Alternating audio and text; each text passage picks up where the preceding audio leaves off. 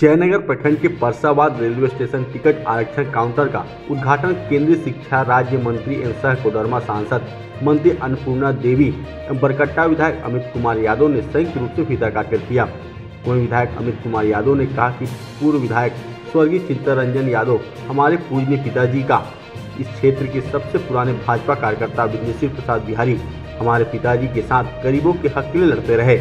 और आज सोई हुई उम्मीद की किरण जागी है। मंत्री के द्वारा एवं जिला परिषद केदारनाथ यादव के सहयोग से सफलता बरकट्टा विधानसभा क्षेत्र के वासियों को एवं कोडरमा की जनता को मिली है। इस दौरान मंत्री ने कहा कि ग्रामीणों की समस्या का समाधान हुआ है। क्षेत्र के लोग ग्रेजुएशन करवाने के लिए जो कोडरमा हजारीबाग रोड जाना पड़ता था, अब इस परसाबाद स्टेशन से कहीं का भी ग्रेजुएशन करा सकते हैं।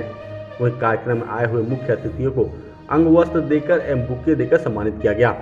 इस दौरान मुख्य अतिथि मंत्री अन्नपूर्णा देवी, विधायक Amit Kumar Yadav S Ashish Kumar senior DCS Amresh Kumar, railway inspector Arun Kumar, Jaynagar अंचलाधिकारी ओम प्रकाश, बड़ाई जयनगर थाना प्रभारी ऋषिकेश कुमार सिन्हा एवं उपस्थित पूर्व प्रमुख जयप्रकाश राम, शिक्षा विद अध्यक्ष बीएनपी वर्णवाल, मुखिया अशोक सिंह, महेश रजक, लखपत यादव, दुर्गा प्रसाद आदि भारी संख्या में ग्रामीण बूढ़े बच्चे एवं प्रशासन के जवान उपस्थित रहे।